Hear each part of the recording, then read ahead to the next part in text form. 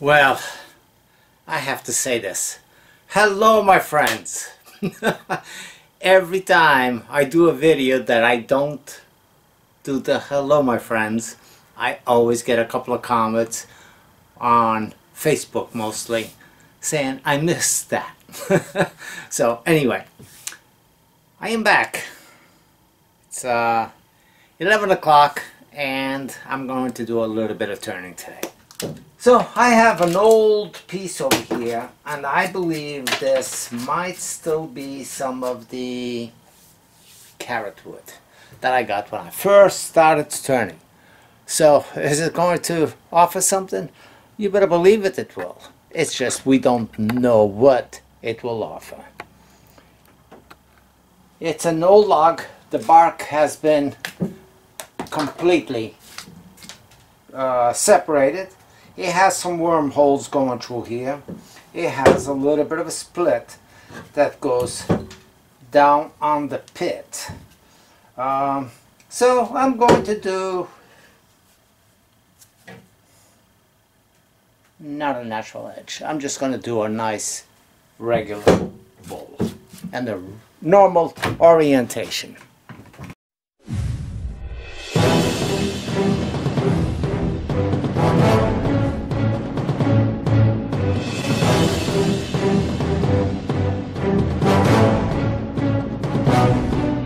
And uh, well as far as speed it's cut to somewhat of a round piece so it should not be too difficult to turn.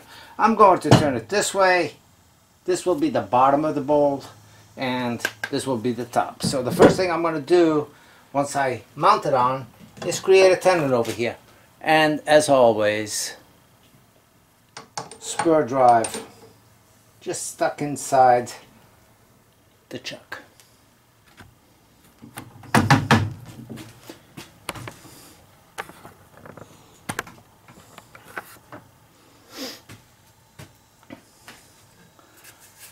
So find center more or less and I will finalize it. Once I put it up here, this is basically just to hold it where I can balance it off with one hand. So I can move things around, my tool rest and all that stuff. Then, bringing up my tailstock, all I want to do is not even any pressure, just enough to for it to hold it. And I see how heavy it is on offset. If it's way too heavy on one side, then I make a small adjustment and I try it again. And there we go. Well balanced piece is much easier for you to start. Start with than something that's really off. And you're going to be battling all the way through.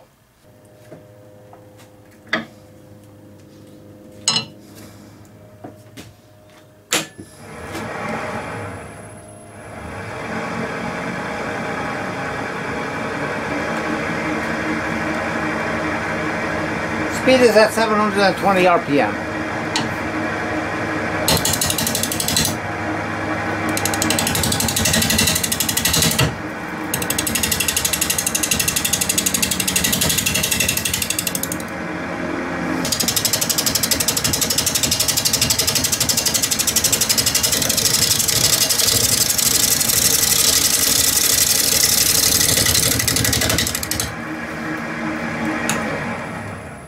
This wood is fairly dry. It's been out there for at least three years.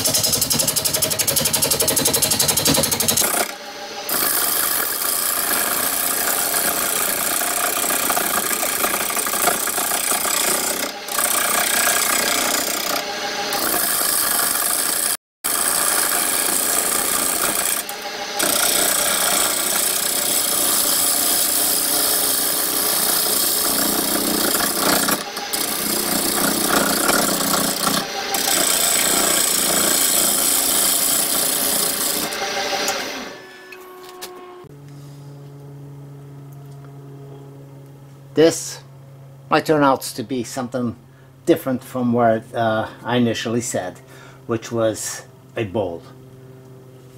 But that's the fun about wood turning. You should not lock yourself up into what your initial idea was and let your mind develop and grow as you're starting to turn it. That's the fun.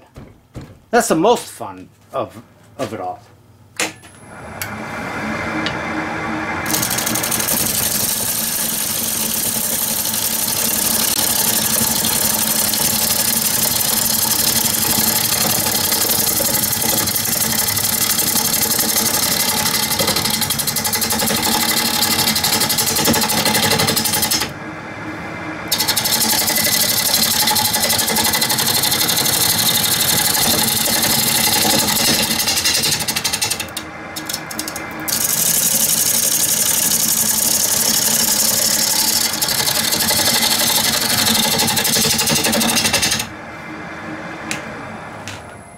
I'm going to sharpen this up pretty quick. And a lot of you ask me at times, Al, have you done anything on sharpening? Very little. I've done very little on sharpening because my sharpening is not traditional. I don't use fancy tools. Uh, it's a shop made. You can see how I did this. Captain Eddie has something on how to do it with PVC as well. Uh, you can watch a few videos out there that will offer you. And the angle of the this pipe over or this alt thread is about 45 degrees to the handle. So it's you know there is not a specific angle on it because no matter what it is you adjust it one time with the distance. So if it's a little bit more steep you bring it back or you bring it close a little bit and you get it more or less where you got maybe at 20 degrees, 30 degrees up to the stone. So uh, like I said, if it was longer, if it was taller or whatever, I'd be able to adjust it by bringing it further back, extending this further, whichever way. But whatever you got, this is just a tool that's going to allow you to make the same edge every time. So that's what it is.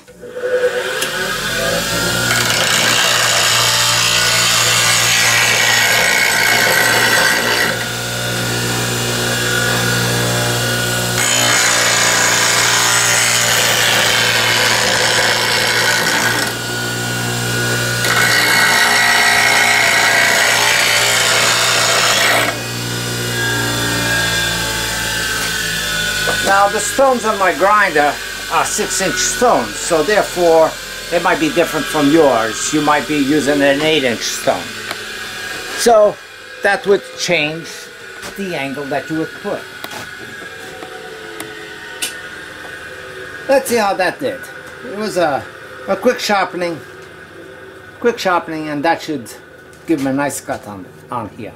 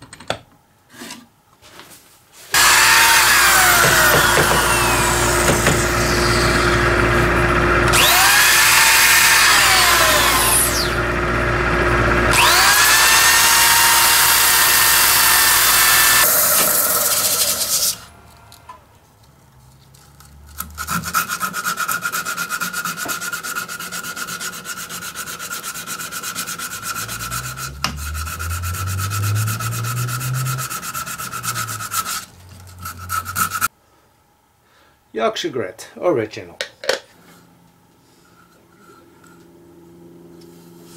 So anyway, that's the idea for this particular piece.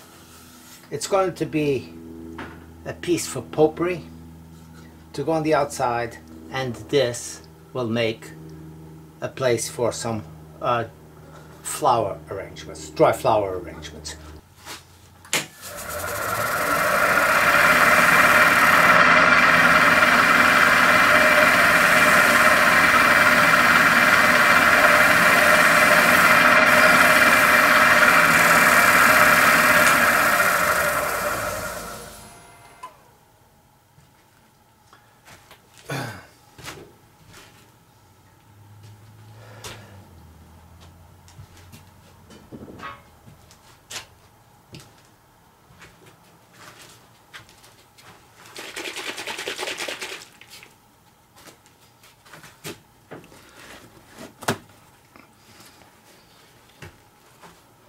Turning is a fascinating hobby. And uh, I hope everybody gets into it. I think, you know, um, I think I've done my share in getting some of you to turn. Uh, so I'm not quite uh, the Bob Ross of wood turning because Bob Ross is known to get more people painting with oils than any other artist out there.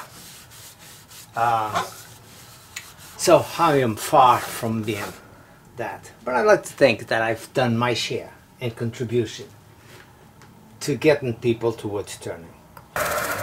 And I must say the uh, one, like I said, I learned from many and, uh, you know, uh, appreciated many turnings that I saw. The inspiration as far as to my style, the way I turn, and one of the wood turners that I've watched that I thoroughly enjoyed was Robbie Woods Turner. He probably inspired me more than any other turner. And yes, he did some, my style is not his, but my style developed, I think, from his. Um, and, you know, I liked Bobby, the Woods Turner, because he was not full of himself. Uh, really was a humble person who did his turnings, did a great job, and uh, I just appreciated him for that. I just want you to enjoy it and perhaps motivate you and get out there and do some turning. Your likes, your thumbs up, I greatly appreciate it, as well as your comments, of course.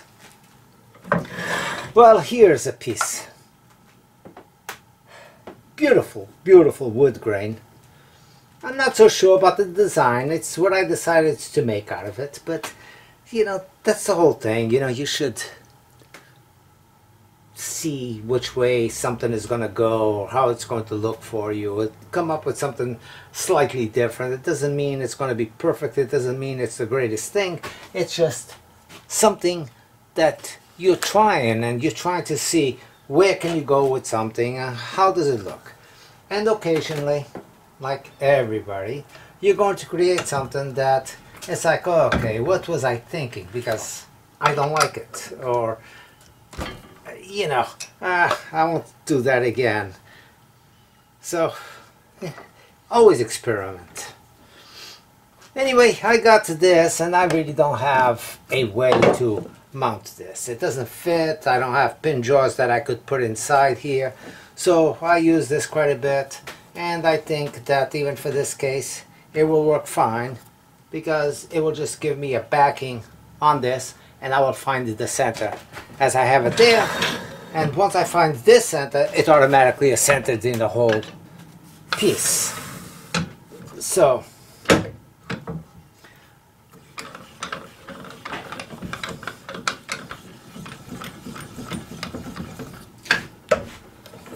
so a little bit of pressure. And like I said once you put it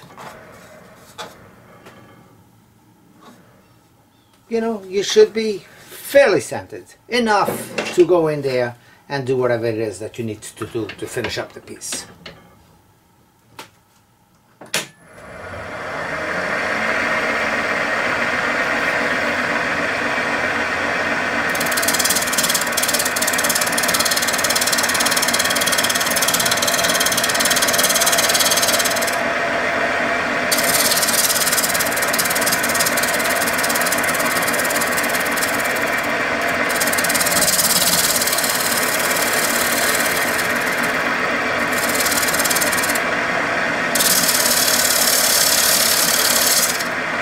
I am going to change this base over here and rebuff that.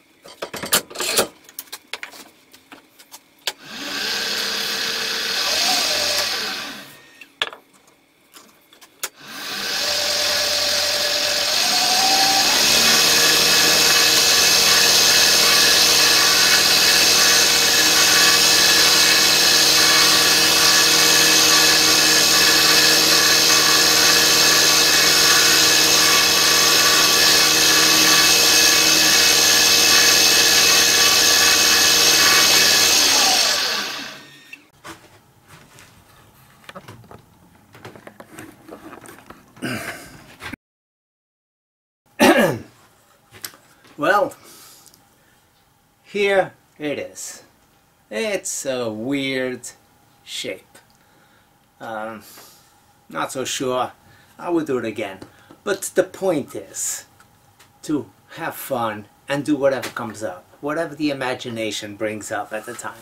Some of them will be good, some of them won't be so good. Um, but it's all part of having fun and getting practice on the lathe. So get out there and go do some wood turning. I, the methods that I use and what I do and my rambling on and uh, talking about how much I sand or don't sand and all that stuff are not meant to be discouraging factors on what you feel you should do. whatever method is working for you, by all means, go to that. And like I've said many times, the more you sand, the better the finish is going to be. There's no questions about that. But I only say, well, Al, you know, you do it. It looks okay. It looks good.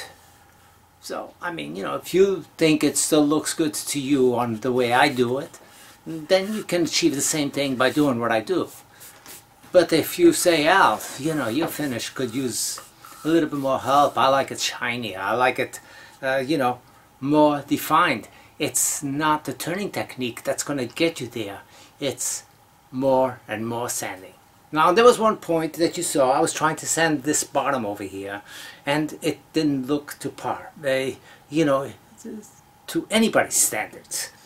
Uh, it had ridges on the bottom. So with the lathe stopped, I went in there and I saw if my scraper would be a good tool to use in there and how it would react. Am I going to be in danger? Is it going too far of a reach? Whatever. And I saw that the scraper fit just fine.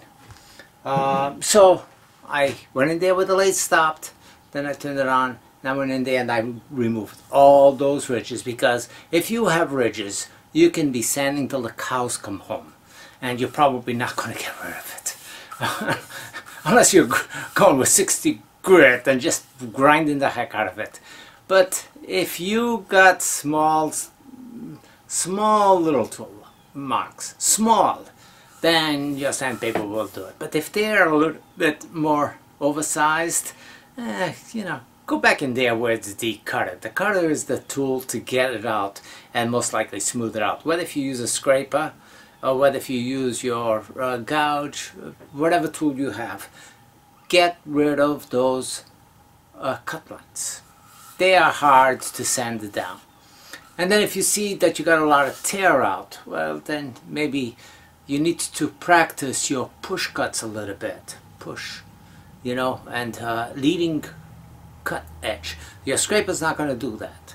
Um, but you can practice on that. So if it's just a matter that you got a little bit of tear out and you don't haven't practiced enough or you don't know how to use the push cut method, well, you know, you're going to have a little bit more sanding, but at least you don't have ridge, uh, ridge lines going all the way around. You might only have the two end grain parts that are a little bit more tear up and you can get that with the lathe stopped and your sander get rid of that heavier uh, uh, tear out you know uh, that feels rough and then once you get rid of the majority of it then turn on your lathe and start going in there and continue going in there with your power sander until you get it all uniform and you should come up with something that looks good. But if you still got any deep grooves, lines in there, eh, you know, you're going to be there for a long time with sandpaper if you don't get it down at least to the shape without those ridges. Uh, you know, it's, it's hard to get rid of those with just sandpaper. Anyway, here it is. The wood it's amazing. Um, it's dense, and I do believe it to be still of the. Um, eh, eh, it has to be some of the carrot wood that I got back. And I know you're going to ask, well, I never heard of carrot wood. What is carrot wood? Well, I don't know how to uh, explain it, but you can Google it and you'll see exactly what I mean.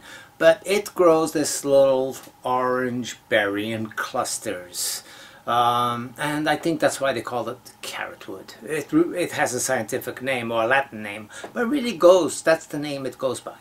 Uh, it's not just a local name. Um, and carrot wood is inv invasive over here in Florida. Not that I see it cut down all the time, but I do see it up. Even my yard has one in the back over there. That's a decent size. Part of the storm came by and, you know, it, it broke a huge branch off it.